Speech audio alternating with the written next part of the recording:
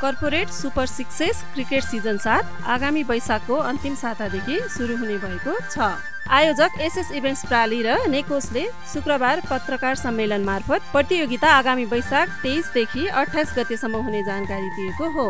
तीन वर्षपछि आयोजना हुन लागेको प्रतियोगितामा कुल चौबिस टोलीले प्रतिस्पर्धा गर्नेछन्। पाँच ओभरमा खेलाइने प्रतियोगिता किर्तिपुर स्थित त्रिवी क्रिकेट मैदानमा सञ्चालन हुने आयोजकले जनाएको छ।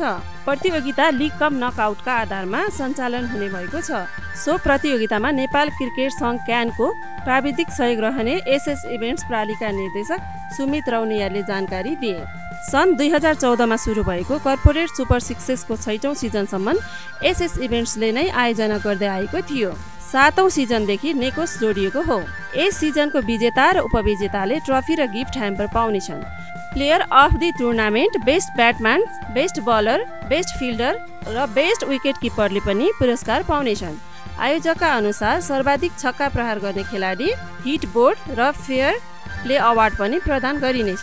क्रिकेटमा सहभागिता गराएर उहाँलाई क्रिकेटमा थप लगानी होस् भनेर कर्पोरेट हाउसले चाहिँ अलिकति यसमा क्रिकेटमा अहिले चाहिँ किनकि एउटा धर्म रिलिजन जस्तो पनि गइरहेछ नेपाली क्रिकेट हाम्रो जनताको माझमा चाहिँ धर्म जस्तो पनि भइरहेछ एकदम यसको क्रिया चाहिँ एकदम यस्तो एउटा आगोले सकिए जस्तो सकिरहेछ त्यसैले चाहिँ यसलाई चाहिँ हामीले चाहिँ अब त्यति हुँदा पनि किन हाम्रो अहिले स्पोन्सरहरूसँग बजार व्यवस्थापनहरू हामीले गर्न सकिरहेको छैनौँ?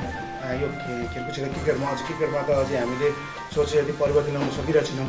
र के छ नीति नियमहरू भन्दा पनि यो हामीले नीति अलिकति विशुद्ध नीतिगत सुधार गरेर हामी गयौँ भने आर्थिक आर्थिकहरू पनि अभाव त्यति हुँदैन जस्तो लाग्छ मलाई।